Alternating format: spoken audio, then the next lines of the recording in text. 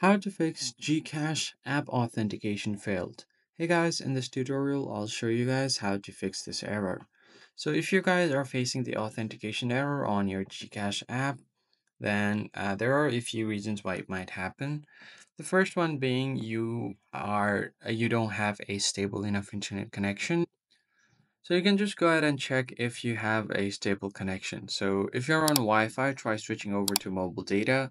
And if you are on mobile data, try switching over to your Wi-Fi network and try to log in and see if the authentication works.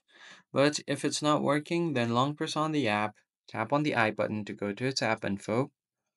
And then once your app info is open, head over to permissions. You can try to disable all the permission ones and then re-enable them again. After that, scroll down and go to storage. Now you can try to clear cache and then uh, in some cases clearing data might also help and you're going to have to log in back again. But if that doesn't work, try to force stop the app and if the app is uh, running on the background, it will completely stop it. And finally, from here, you can find the option to uninstall. So this is one of the best options you can do. Try to uninstall the app and reinstall it back again. But if that still doesn't work, then it might be a problem on their end. So that's pretty much it, guys. I hope this tutorial was helpful. I'll catch you guys on the next one. Thanks for watching.